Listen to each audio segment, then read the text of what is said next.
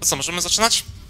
Słuchajcie, mm, chciałbym wam dzisiaj powiedzieć o temacie, który, który jest dla mnie bardzo pasjonujący i który, że tak powiem, przedstawiłem na Call for Papers i, i zdecydowaliście, że, że to się wam najbardziej podoba, więc z tego miejsca naprawdę serdecznie dzięki. Bo temat jest taki dość nietypowy, tak? W sensie...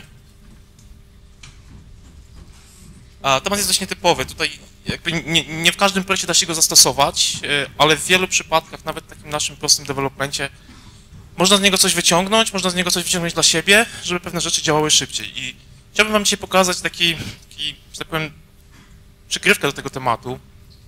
Zobaczycie, czy jesteście w stanie zastosować niektóre rzeczy w waszych projektach, w waszym jakby takim development workflow. E, temat się nazywa HHVM plus PHP plus, plus hack. E, same, same skróty, postaramy się oczywiście poza PHP, który mam nadzieję, że wszyscy znamy, troszeczkę rozszyfrować e, te rzeczy.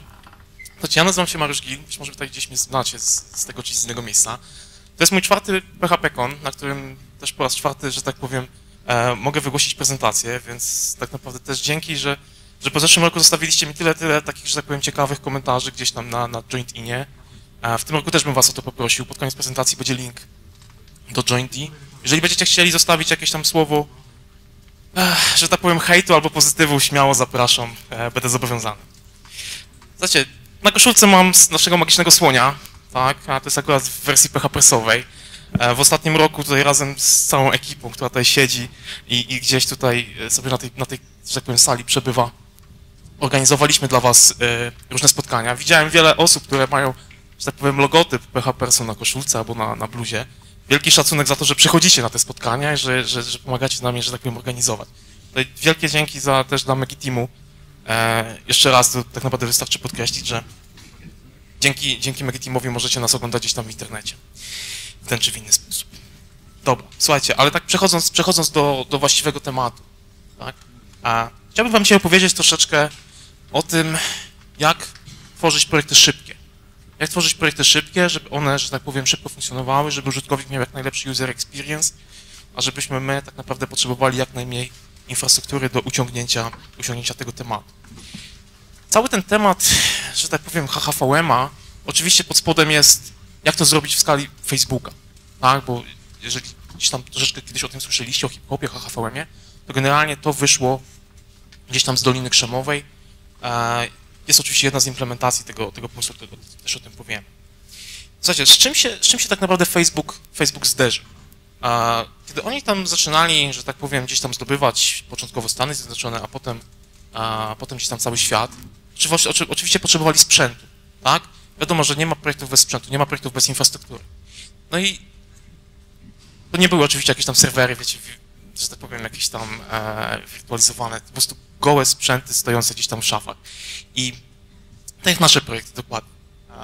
I każdy projekt, jeżeli zaczyna, że tak powiem, zdobywać ruch, zdobywać użytkowników, potrzebuje tego sprzętu coraz więcej.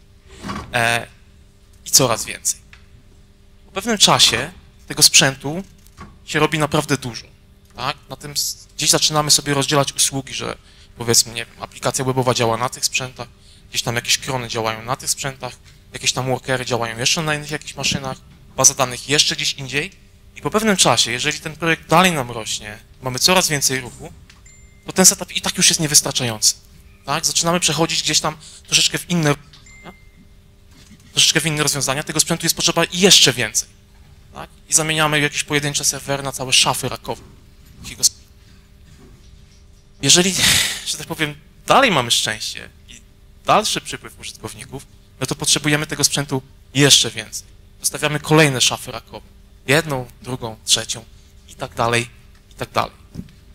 Akurat Facebook doszedł do tego, że już musi tam skalować całymi data centers, nie już pojedynczymi maszynami. Tak.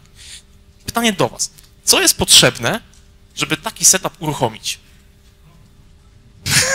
Okej, okay, dobra, świetnie. No na pewno, nie da się ukryć, ta korba nie będzie działać. Co jeszcze? Chłodzenie. Co jeszcze? Admin? Okay. Wszystkie odpowiedzi są poprawne, ale jeszcze... Okay. aplikacja. I co jeszcze? Właśnie. Kasa. Kasa. Dokładnie. Jest potrzebna złota karta kredytowa, która to wszystko, że tak powiem, sfinansuje. Jeżeli ktoś miał okazję budować jakąś większą aplikację na Amazonie, ale taką, która naprawdę ma tam sporo tego ruchu, to pewnie obawia się tej chwili, kiedy przychodzi invoice z Amazona. Tak, bo to potrafi zaboleć. Możemy naszą aplikację optymalizować, możemy sobie tam przenosić do CDN-ów i tak dalej, tak dalej, ale jak Amazon przedstawia rachunek, to to nie jest tanie. I Facebook też w którymś momencie sobie zdał sprawę z tego, że mają tony sprzętu, aplikacja potrzebuje naprawdę sporo, że tak powiem, mocy obliczeniowej, żeby, e, że tak powiem, żeby działać i to wszystko kosztuje. Tak? I jak zobaczyli skalę tego, no zaczęli się zastanawiać, co jest nie tak. Co my zrobiliśmy nie tak, że potrzebujemy tyle sprzętu, żeby nasza aplikacja działała? Odpowiedź była prosta i niestety jakby dla nas bardzo smutna. PHP jest wolny. Tak? W porównaniu z jakimiś innymi językami jest wolne. Albo, żeby być bardziej poprawnym politycznym, zwłaszcza dzisiaj, e, że tak powiem tutaj w stolicy PHP Polski, należy powiedzieć, PHP nie jest szybkie. ok, więc jakby pozostańmy przy, tym, przy tej terminologii PHP nie jest szybkie. I co zaczęli oni robić? Zaczęło się przepisywanie kawałków aplikacji do rozszerzeń w C, instalowanych w ramach, e, że tak powiem, PHP. Działało. Dlaczego? Bo C jest szybki. C jest bardzo szybki. Tak? Aplikacja zaczęła momentami tam, w tych miejscach, gdzie potrzebowała performance'u, zaczęła naprawdę zasuwać, ale pojawił się inny problem. Jaki? Trzymanie. Ok? Coś jeszcze? Poza wiedzy? no, świetna, świetna odpowiedź, bardzo dobra. Zorientowali się, że na tylu deweloperów, ile oni mają, nagle się okazało, że ileś tylko kilka procent potrafi, że tak powiem, przepisać tą logikę. Tak? I doszli do wniosku, to nie jest dobra droga. Tak? Jest szybko, ale nie, nie, to jest, nie to jest dobrą drogą. Słuchajcie, żeby, żeby nie być, że tak powiem, głosłownym, takie próby też były w polskich projektach, między innymi firmy, gdzie pracowałem, też był fragment logiki przeniesiony do C. To też nie było dobre wyjście. Należało to zrobić inaczej. I żeby jakby dojść do tego, dlaczego PHP nie jest szybkie, trzeba jakby wrócić do natury, jak PHP działa. Tak? Znaczy jest to, jest to język interpretowany, w którym mamy powiedzmy jakiś nasz codebase. Tak? Ten codebase jest interpretowany do, do obkodu, po czym jest on tak naprawdę wykonywany. Tak? I tak za każdym razem. Ładujemy stronę, wszystko się tam, że tak powiem, do tego obkodu gdzieś tam kompiluje, kompiluje interpretuje, tak? i na końcu jest to wykonywane. I teraz, oczywiście nie wyobrażam sobie, że istnieje jakikolwiek serwer, że tak powiem, na którym działa aplikacja PHP, na którym nie ma zainstalowanego jakiegoś opcode cache'a. APC, Xcache, opcode i tak dalej, tak dalej. Po prostu to jest must be. Bez tego po prostu setup jest zły. Tak? To jest akurat gdzieś poza nami. Administratorzy nam to powinni zapewnić i to powinno być jakby w standardzie. Zresztą chyba od 5.6 to już jest, że tak powiem, natywnie włączone. Tak? Opcode cache. Od 5.5, ale 5.5 jest jeszcze domyślnie włączony. Jest, ale w 5.6 już chyba jest włączony. Tak? No wcześniej trzeba było kombinować z APC. Czasami można się było nieźle naciąć. Kto używał APC? OK? To przestawił taką flagę magiczną, filestat, żeby... Jak w ogóle działają obkody, tak? E, interpreter tak naprawdę patrzy, czy załadował już jakiś plik, czy ten plik nie został zmieniony od ostatniego załadowania. Jeżeli nie został zmieniony od ostatniego załadowania, to tak naprawdę bierze taki opkod już skaszowany gdzieś tam z pamięci. To jest bardzo szybkie, ponieważ eliminuje jakby etap pasowania, leksera, analizy i tak dalej, i tak. Po prostu tylko bierze ten skompilowany jakby opkod i przekazuje do wykonania.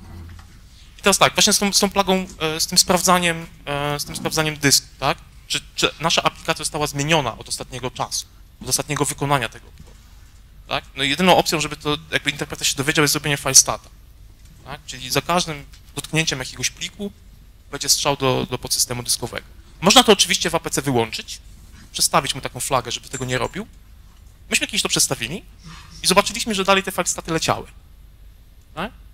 Po czym oczywiście RTFM, tak? czyli czytaj dokumentację, w dokumentacji widnieje, że tak, to działa tylko dla części ścieżek. Jeżeli jest ścieżka relatywna, to to nie działa. Tak? Więc jakby trzeba wiedzieć, co się robi, jak się robi, dlaczego coś działa, dlaczego coś nie działa. I ten proces, że tak powiem, interpretowania PHP w ten sposób, no jest oczywiście no, spowalniany przez jakby całą tą, tą wykonywanie tych kodów. Co, co się robi, żeby to przyspieszyć?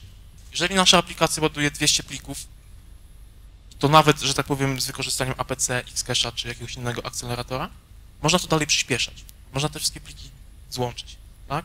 To w pierwszym rzędzie siedzi chłopak, który, że tak powiem, w naszej aplikacji zrobił bardzo fajną rzecz i, i przygotował taki mechanizm, który w czasie builda e, tworzy z najczęściej włączanych plików jeden taki pliczek, odpowiednio jeszcze transladując odpowiednie ścieżki i zamiast 200 hitów do, do APC, załóżmy, mamy tylko jeden.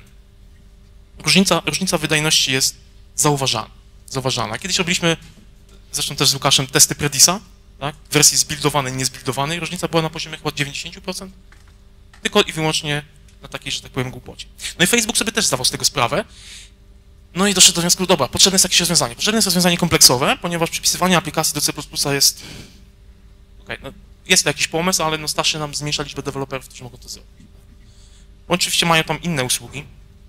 Zastanawiali się też nad innymi językami, ale w 2008 roku, gdzieś tam na jakimś hackatonie, że tak powiem, e, facet, który się nazywał Hyping Zao, wymyślił, no to zróbmy coś, żeby pisać w PHP, ale, że tak powiem, korzystać z benefitów C++.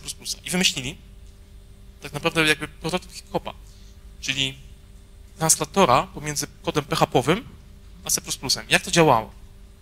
E, działało to w ten sposób, że kod był interpretowany, zmieniany na C++, po czym kompilowany. Zajęło im to troszeczkę czasu.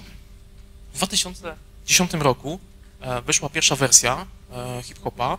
W 2010 roku zostało to wszystko upublicznione gdzieś w lutym. I w tym momencie już jakby część infrastruktury Facebooka działała właśnie w oparciu o, o, o tą technologię. Tak? Pojawił się taki bardzo słynny post hip-hop for PHP Move Fast. Tak? Ten post, to jest akurat screenshot, że tak powiem, wykonany chyba dwa dni temu, dlatego tam jakieś braki obrazków są. Mm, natomiast ten post opisywał, co oni zrobili. Co oni zrobili i dlaczego to było warte. I jaki został odniesiony benefit w tym, w tym wszystkim. Tak? Cała taka magia, czyli ta konwersja pomiędzy kodem PHP-owym a, C++ miała na celu oczywiście przyspieszenie aplikacji. To się udało. To się udało. E, odnieśli sukces, udało im się zmniejszyć obciążenie CPU na wszystkich tych, że tak powiem, serwerach webowych o prawie 50%. Przy skali, właśnie to jest dosyć istotne tutaj to, że tak powiem, że tutaj mówimy o Facebook scale, tak? Czyli jeżeli mówimy o, o setkach, tysiącach serwerów, to zaoszczędzenie e, x procent to jest po prostu solidna, że tak powiem, e, kwota wyrażona, krótko mówiąc, w dolarach.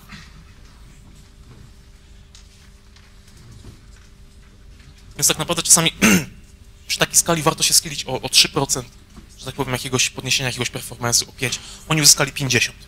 Prawie. Jak to działało dokładnie?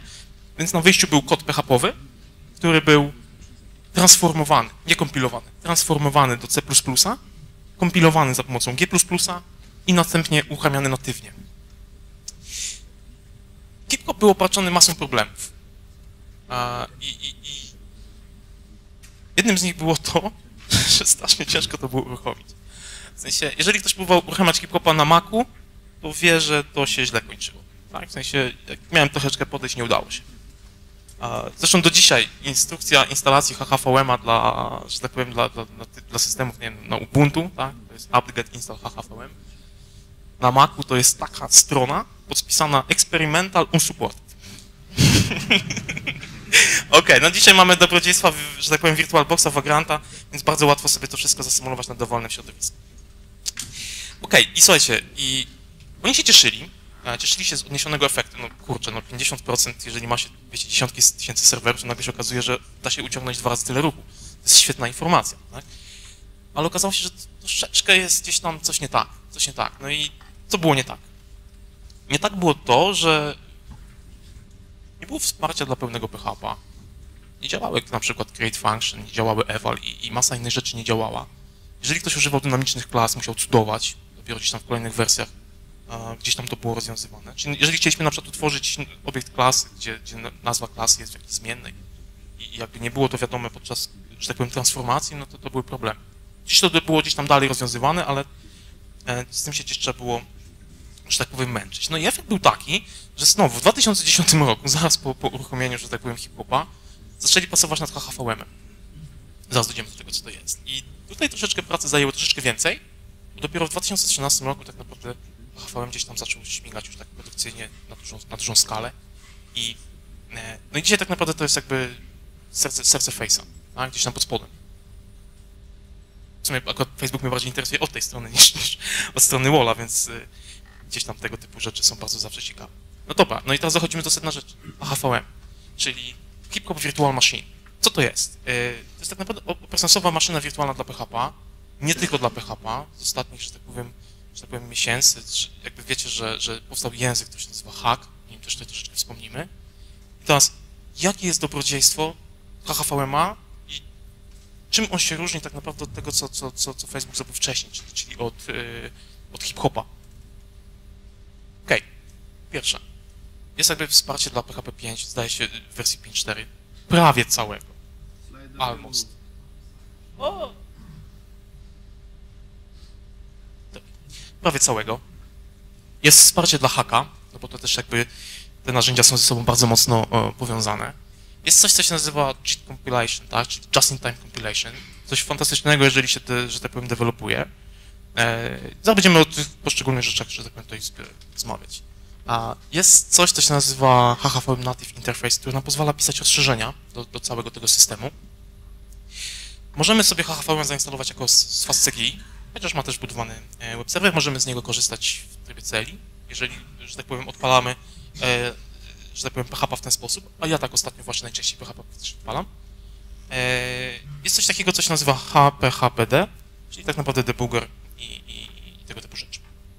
Wcześniejsze narzędzia, znaczy w momencie wyjścia HHVM-a, wcześniejsze narzędzia, czyli HipHop, który się tak naprawdę nazywał HPHPC i interpretery HPHPI, tam HPHPD, wcześniejsze wersje, straszne, straszne skróty, naprawdę straszne, no gdzieś to poszło do piachu, tak? To już jakby nie jest wspierane oficjalnie. HHVM już jest obecnie w wersji 3.2, jeżeli dobrze pamiętam. I tak naprawdę to jest, to jest kierunek, w którym, w którym Facebook idzie. Jak to działa? Jak to działa w stosunku do, że tak powiem, do tych wcześniejszych rzeczy? Ok, więc mamy kod na początku, nasz, nasz kod PHP-owy.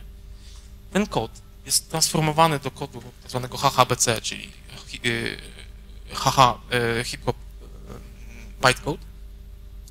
Następnie jest on e, translowany do, do, do, kodu maszynowego tak, na danej platformy, optymalizowany, to jest bardzo duże że tak znaczenie, optymalizowany i natywnie wykonywany.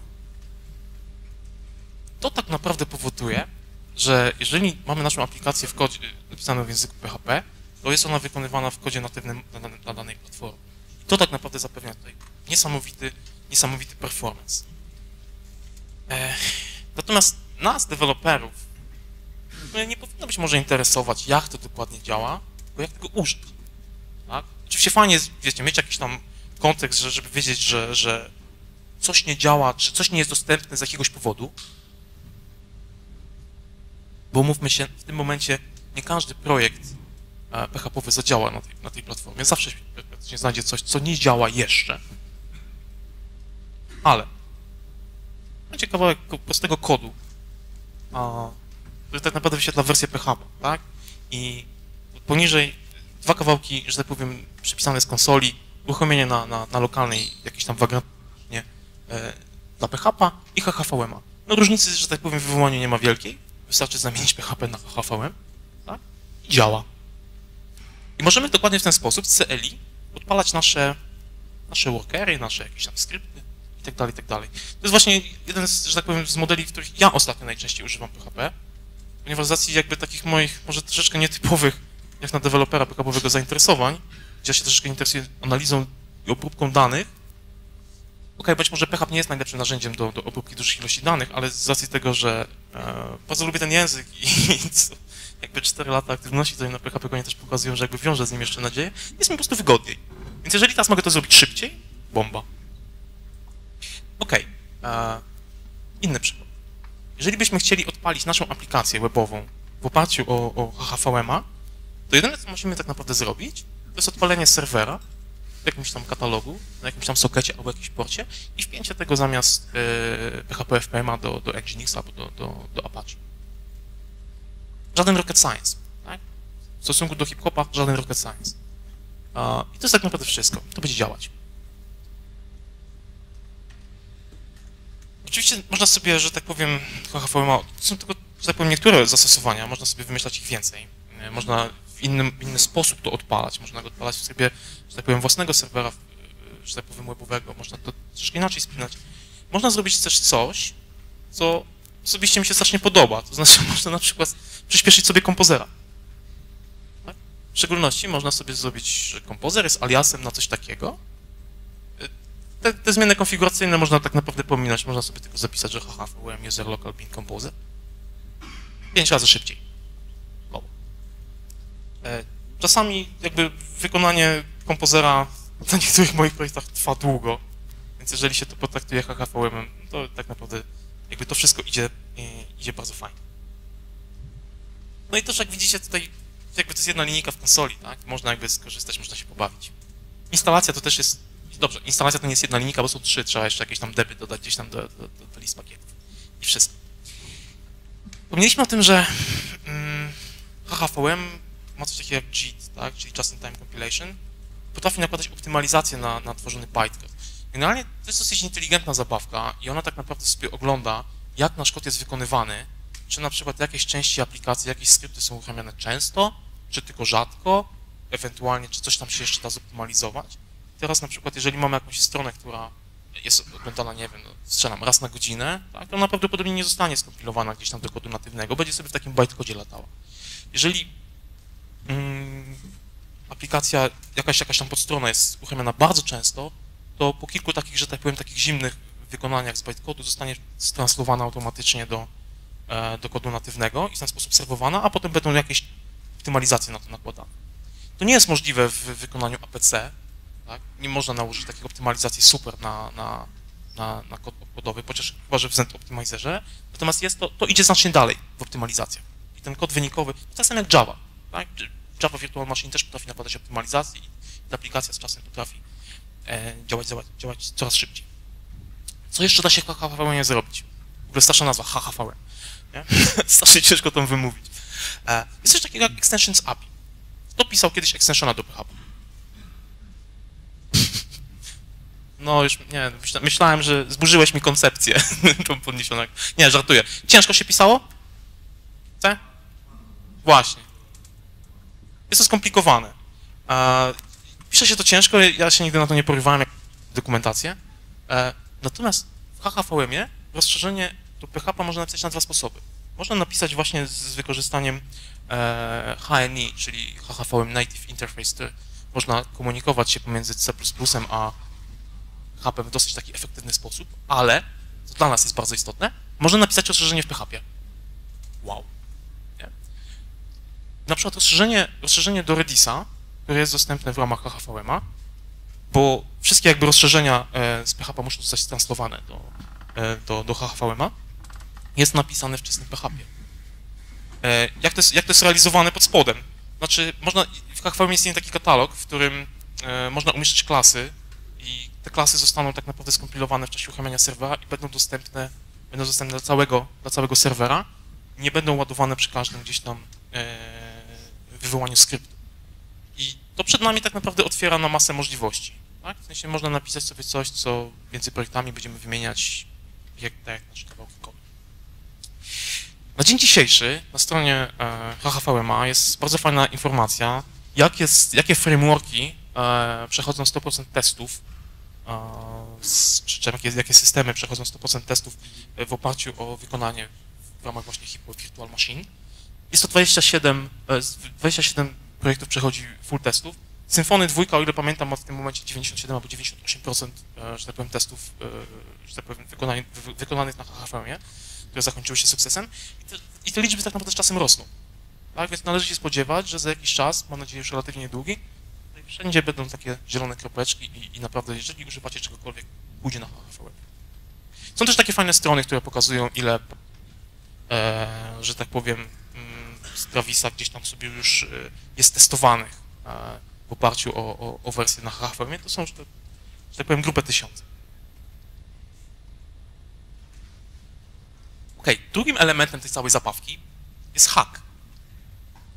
Tak, czyli tak naprawdę język operujący na, na HHVM-ie, który jest tak naprawdę jest podzbiorem PHP, podzbiorem PHP rozszerzonym o pewne rzeczy. E, jest rozszerzony o typy, czego w, PHP nie ma. Tak? Możemy sobie gdzieś tam, jeżeli przekazujemy coś do metody, możemy sobie określić, że to, że to ma jakąś klasę, znaczy to, to implementuje jakiś interfejs, albo jest to obiekt jakiejś klasy, natomiast nie możemy określić, że coś jest stringiem, liczbą i tak dalej, i tak dalej. Hack wprowadza nam taką możliwość, wprowadza statyczną typizację. Tak? Pozwala jeszcze, pozwala e, oprócz, że tak powiem, e, adnotacji typowych, pozwala jeszcze e, aliasy do, robić, e, wprowadza typy generyczne, które, które gdzieś tam jakby z Java są znane, tak? I z innych, z innych języków. E, kolekcje, programowanie asynchroniczne, tak? czyli można tak naprawdę wykonać w jednym momencie, rozdzielić nasz kod bardzo prosto, żeby na przykład 10 stron się nagle kur nam ściągnęło bez jakiegoś testowania. W szczególności wprowadza też nowe struktury danych, shape'y, kropki, e, wektory, mapy, pary.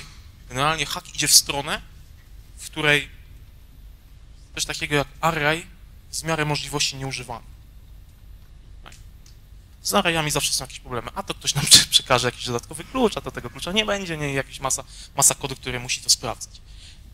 E, tutaj jakby starają się od tego odejść. Jeżeli ktoś zna tak naprawdę PHP, to w haka powinien wejść w godzinę. Tak? Wystarczy przeczytać dokumentację, zobaczyć jak to działa, powinno być to proste. A, tu jest prosty przykład wyciągnięty z dokumentacji, przepraszam, wyciągnięty z dokumentacji, który wprowadza typy generyczne e, na danej klasie. Czyli klasa mailbox będzie przyjmowała e, dodatkowe, że tak powiem, e, można ją sparametrować z jakimś, jakimś tam typem i nie będzie przyjmowała innych, innych typów. Czyli na przykład jeżeli ją raz zainicjujemy, że tak powiem, z jakimś intem, jeżeli włożymy stringa, to będzie jakiś tam warning. Przydatny. Przydatny. Wprowadza też tak zwany nullable type, czyli że coś jakby na poziomie, że tak powiem, kompilacji będzie określone, że coś może być nulem. E, też dosyć przydatne, jeżeli chodzi o, o wychwytywanie takich błędów gdzieś tam logicznych w kodzie. Szczególności da się to wykorzystać, żeby nasz program sprawdzić pod kątem tego, czy to jakby jest zgodność typów deklarowanych, zwracanych, coś czym tak naprawdę gdzieś e, my się czasami zderzamy. Tak? Mamy aplikację, gdzieś jakaś jest metoda, oczekujemy, że zwróci nam jakiś obiekt, a tam leci boom, albo jakiś tam null. Nie jest błąd, nie? Fatal exception. Tutaj mamy jakąś metodę, metoda f, która teoretycznie powinna nam zwrócić wektor generyczny, czyli wektor jakiegoś typu, no, tego wektora nie zwraca, bo zwraca stringa. Tak? No to jest oczywiście błąd, bo tak nie powinno być. I teraz za pomocą e, haka i, i jakby klienta bardzo łatwo sprawdzić, czy nasz program nie zawiera błędu przed jego faktycznym wykonaniem. Przed wykonaniem. Tak wystarczy sobie odpalić polecenie HA Client, które przelatuje przez nasz codebase i on krzyczy, że mamy nieprawidłowy, tak powiem, e, zwrócony typ dany. E, powinien być wektor i to jest niekompatybilny ze stringiem. Przy dużych projektach to ma znaczenie, tak? I to jest główny powód, e, dla którego, że tak powiem, typy i, i jakby cała kontrola została wprowadzona w, w haku, ponieważ no, oni się zderzali z, jakby z tym, czym my się zderzamy. Tak? Czyli gdzieś coś ktoś postawi nie to, co trzeba i jest niestety błąd.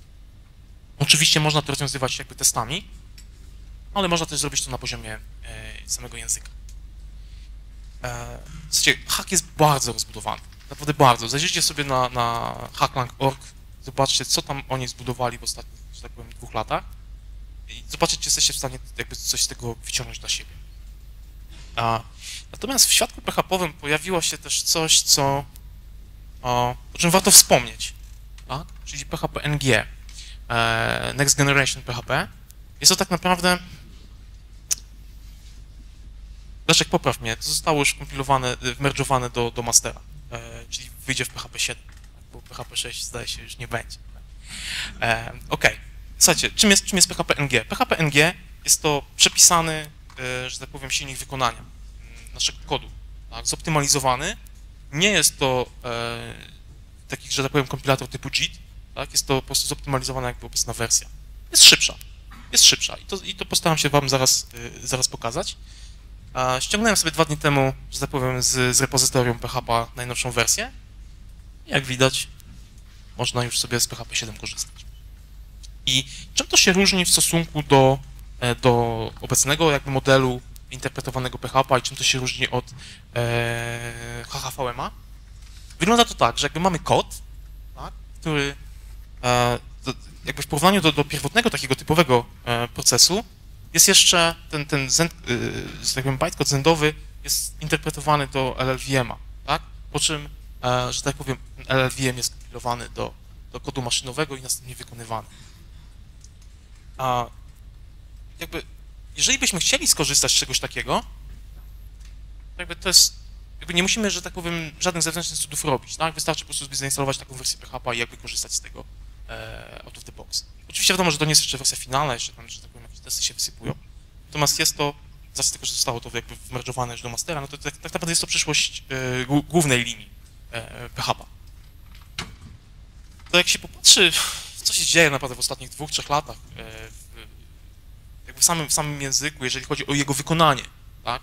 Tutaj mamy jakieś tam APC, jakieś mamy opcode cache, mamy HHVMA, e, mamy PHP-NG. Jest też coś, co, co się nazywa HiPiVM. HiPiVM jest to tak naprawdę implementacja języka e, PHP w oparciu o, o technologię PyPy. Tak? E, że tak powiem, no, parę dni temu w PHP Brnie, e, znaczy na konferencji e, Brno PHP e, był główny autor z, z HiPiVM-a, jeżeli wszystko dobrze pójdzie, on będzie też na PHPRS-ach we Wrocławiu. Będzie opowiadał dokładnie o, o HiPiVM-ie. To jest tak naprawdę coś, co oczywiście nie jest, jest jeszcze dalekie od, y, od finalnej wersji, tak? Natomiast y, już w tym momencie jest to bardzo szybkie. E, to potrafi być momentami szybsze dwa razy od HHVM. Tak? Natomiast jeszcze nie, nie implementuje pełnego, e, że tak powiem, protokołu czy tam, czy tam specyfikacji PHP, więc jakby też trudno jeszcze to porównywać tak finalnie, nie? Ale, że tak powiem, kierunek, kierunek w którym to wszystko jest, jest, jest dobry. Słuchajcie, e, dosłownie minuta na zrobienie szybkiego dema.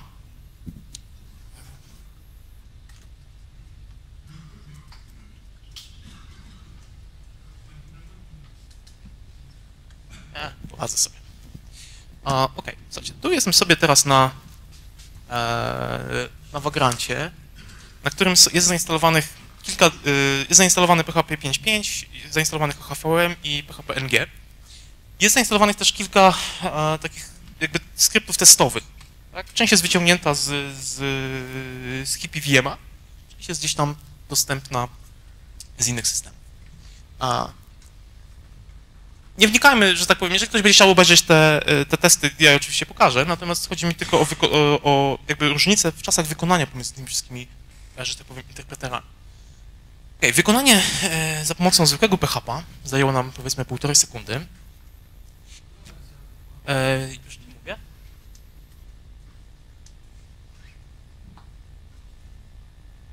Pięć, pięć, dziewięć. Mm. Weźmy sobie teraz następny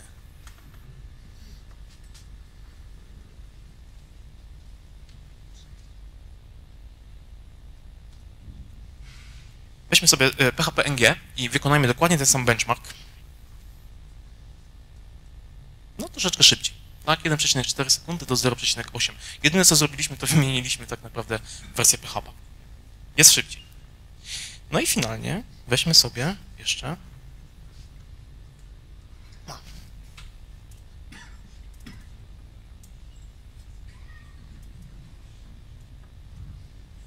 Wow.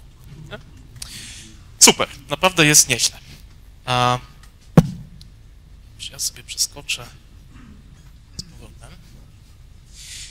Yy, odpalałem sobie trzy, trzy, że tak powiem, testy. Yy, bench, czyli taki yy, główny benchmark, hipsort i, i drzewa binarne. E, myślę, że wykresy wiadomo, co oznaczają, tak? Im wyżej, tym wykonanie dłużej trwało. No i jeżeli tak popatrzymy, to HHVM po prostu rozwali wszystko na, na głowę. A... Wygląda to obiecująco. Wygląda to na tyle obiecująco, że należałoby się zastanowić, czy wreszcie nie znaleźliśmy tego naszego mitycznego Silver Bulleta.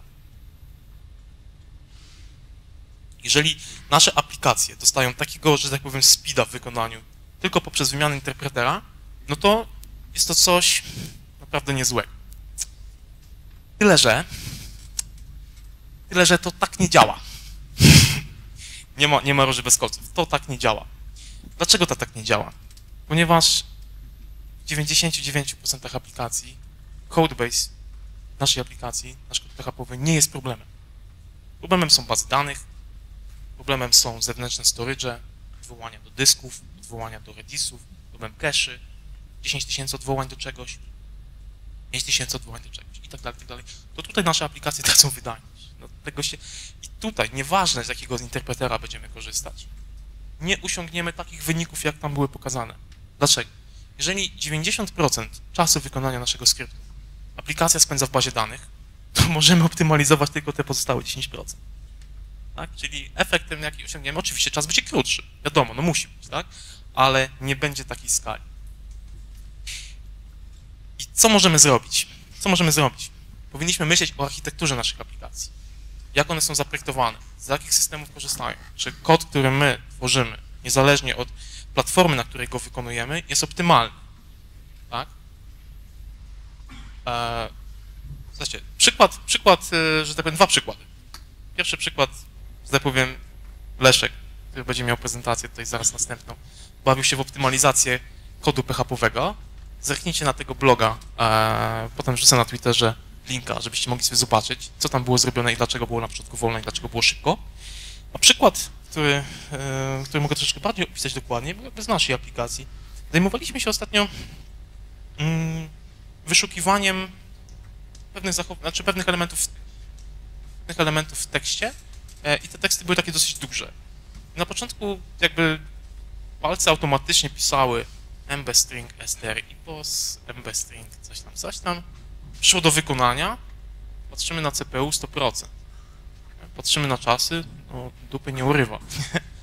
e, zaczęliśmy patrzeć, co się właściwie dzieje i tak naprawdę wystarczyły proste modyfikacje kodu, proste modyfikacje kodu, żeby inaczej troszeczkę, e, że tak powiem, podejść do tego. Jeżeli chcemy wyszukiwać tysiąc elementów w długim stringu, naprawdę w długim, który ma tam kilka megabajtów, to używanie, że tak powiem, case insensitive jest bez sensu, tak? Możemy sobie na przykład operacją jednorazowego str toolover na początku to ściągnąć do małych liter, a potem szukać bez tego. Tak? Wykonanie takich prostych rzeczy, o ile oczywiście możemy sobie na to pozwolić, bo nie w każdej sytuacji jest to dopuszczalne. A przyspieszyliśmy ten kawałek kodu, nie wiem, 40 razy, coś koło tego tylko za pomocą zmiany podejścia. Zmiany podejścia. Ok, pewnie byśmy osiągnęli bardzo fajny efekt, jeżeli byśmy zainstalowali HHVMA, tak? Ale zrobiliśmy to 10 minut, to zmieniając kodu. I o tym musimy pamiętać, że patrzymy, patrzmy co piszemy, tak? bo, bo bardzo łatwo to, że tak powiem, sknocić. No i z tego wiąże się jeszcze jakby jedna e, dosyć istotna rzecz, która wpływa na architekturę tak naprawdę web aplikacji. Nic nie jest szybsze od braku wykonania kodu. Z tym się nie da polemizować. Tak? No code is faster than no. Jak to należy zrozumieć?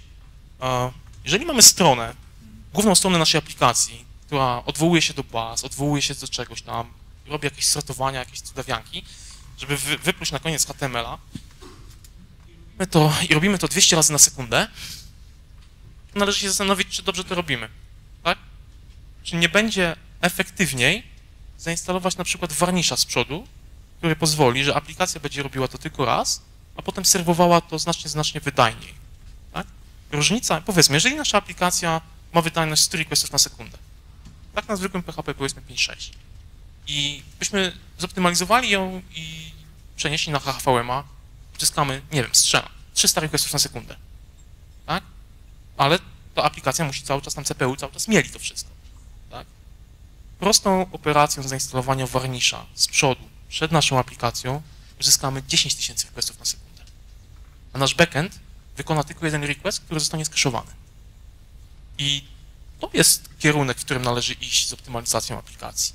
Dopiero jeżeli wszystko zawiedzie, może nie zawiedzie, wszystko zostanie zrobione i e, mamy naprawdę setup, który jest odpowiedni, zoptymalizowany, nie wykonujemy wielu rzeczy po, po, po setki tysięcy razy na godzinę, mieląc tak naprawdę bezużytecznie jakieś tam cykle procesora, to możemy pójść w takie rozwiązania. Bo większy zysk, krótko mówiąc, odniesiemy przez zainstalowanie czegoś takiego. Oczywiście tutaj Warnish jest tylko i wyłącznie przykładem. Warnish jest tylko i wyłącznie przykładem, bo aplikacje można przyspieszać na, na wiele innych sposobów. Tak? Jeżeli mamy mm, aplikację, w której musi się coś dziać, jakiegoś takiego cięższego, a, a jednocześnie jakby zależy nam na, na tym, żeby użytkownik dostał szybko odpowiedź, tak? to jakby możemy wydelegować to zadanie do jakiegoś systemu offline'owego, do jakiegoś systemu kolejkowego, do jakiegoś Rapida, do jakiegoś tam Sidekicka czy czegokolwiek innego, wykonać to gdzieś, być może w innej technologii, gdzieś na boku, a użytkownikowi dać zwrot. Na pewno to będzie o wiele szybsze niż jakikolwiek inny interpreter PHP. Więc jeszcze raz, e, że tak na podsumowanie. Pomyślmy najpierw o, e, że tak powiem, o architekturze na- naszej aplikacji, o tym, czy ona jest zoptymalizowana, czy, czy od tej strony wszystko jest ok. I dopiero jeżeli stwierdzamy, że już zrobiliśmy wszystko, co jest możliwe, to pójdźmy w PHP. Znaczy w PHP e, NG, ewentualnie HHVM. Słuchajcie, to z mojej strony wszystko. Tutaj macie link do, do JointIna. Jeżeli ktoś by chciał zobaczyć, zostawić, zostawić jakąś, jakąś uwagę, to ja z przyjemnością to później przeczytam. Jeżeli chcecie mnie obserwować na Twitterze, to tutaj jest mój Twitter. Jeżeli ktoś ma jakieś pytania, to ja chętnie odpowiem. Dzięki.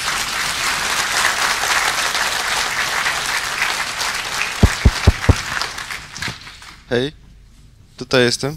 Mhm, okej, Cześć, dzięki za prezentację, bardzo fajna. dzięki. E, takie pytanie, e, czy próbowałeś się bawić z tymi takimi kolosami PHP-owymi, nazwijmy to, tak Drupal, Magento, WordPress albo coś w tym stylu e, na HHVM-ie i e, czy to coś w ogóle dało, czy tak jak powiedziałeś, właściwie to wszystko idzie w bazę i nic z tego nie wyszło?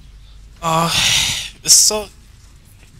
Ja akurat od takich systemów jak Drupal czy, czy, czy WordPress jestem dosyć daleka, natomiast pierwszy, jeżeli dobrze pamiętam, pierwszy e, wpis na blogu na hhvm.com jest o tym, że zmigrowaliśmy WordPressa naszego do hhvm-a.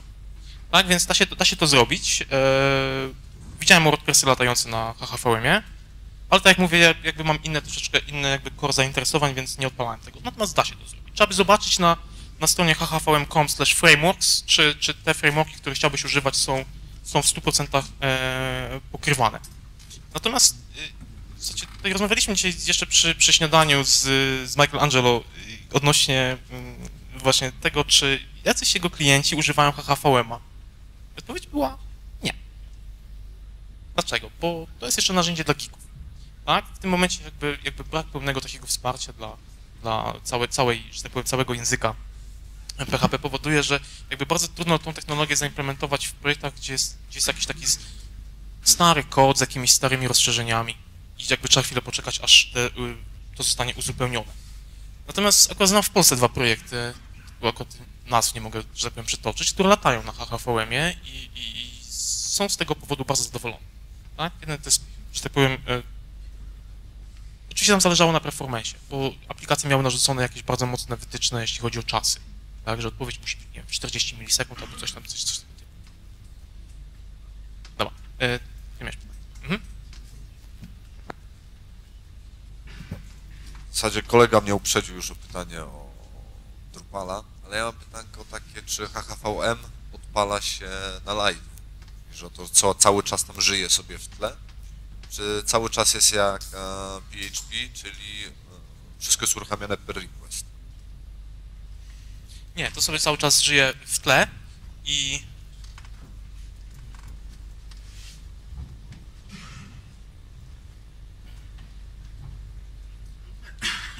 to sobie cały czas żyje w tle. W katalogu gdzieś tam z jakimś projektem możesz sobie odpalić e, HHVM w trybie, w trybie serwera, on sobie zinterpretuje to wszystko, co tam siedzi i będzie serwował, nie? Że- Słuchajcie, y, jakby wejście w HHVM i pobawienie się to jest e, 10 minut. 10 minut. 10 minut i można się pobawić. Eee, mi to tyle zajęło. W sensie odpalenie tego na Macu. Ściągnięcie e, Ubuntu najnowszego na VirtualBoxie, e, że tak powiem update, update, update, install, HHVM, można się cieszyć. Tak? Jeżeli będziecie chcieli, to tak naprawdę możemy gdzieś tam potem w kuluarach się, się, się tym bawić. Mogę wam pokazać jeszcze troszeczkę więcej tam na, e, na, na, na, na konsoli. Jakieś jeszcze pytania? Jeżeli byście chcieli gdzieś tam potem pogadać, to ja jestem do samego końca konferencji, także jeszcze raz wielkie dzięki i do zobaczenia.